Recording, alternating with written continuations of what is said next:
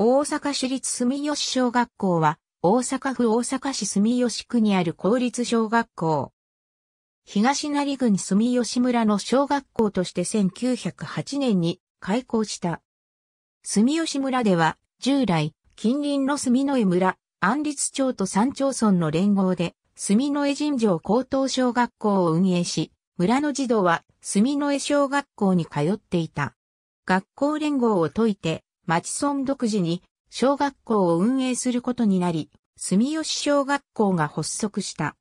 当初は住之江小学校内に仮校舎を設置していたが、1908年12月11日に住吉村大あざ神の木の現在地に移転した。学校発足当初は尋常科のみを設置し、高等科は引き続き住之江小学校に委託していた。その後1924年には高等科の委託を解き、住吉小学校に高等科を併設した。1934年9月21日の室戸台風では木造校舎が倒壊し、児童18人が死亡し、児童44人と教員1人が重軽傷を負う大きな被害を受けた。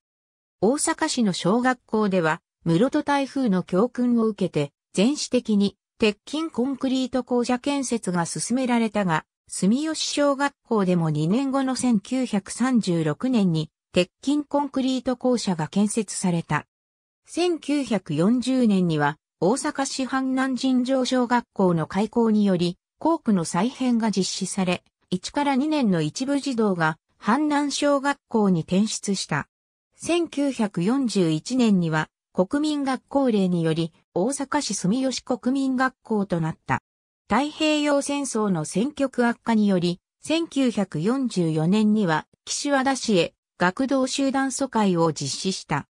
学生改革により、1947年に大阪市立住吉小学校となった。